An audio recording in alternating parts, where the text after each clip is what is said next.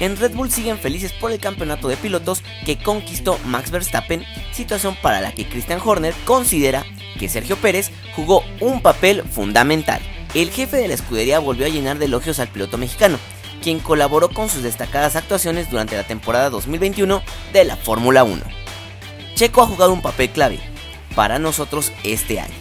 Ha sido un ayudante fenomenal para su compañero de equipo, ya sea peleando con Luis en Turquía o lo que hizo el sábado en la clasificación, remolcando a su compañero de equipo hasta la pole.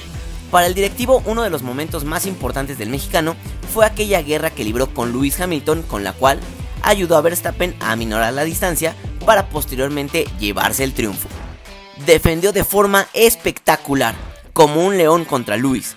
Le costó un tiempo vital sin el cual Mercedes habría tenido una parada en boxes gratis y probablemente habría ganado este campeonato mundial, añadió. Checo Pérez terminó el Mundial de Pilotos en el cuarto lugar, en la que ha sido su mejor actuación en la Fórmula 1. Horner también reconoció el trabajo de Alex Albon, justamente el piloto que le cedió su lugar en la parrilla a Checo. Para más información visita marcaclaro.com.